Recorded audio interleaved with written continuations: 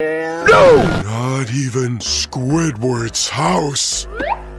Fuck you! And to think we joined the big fucking bandit club. I've got my secret TV channel.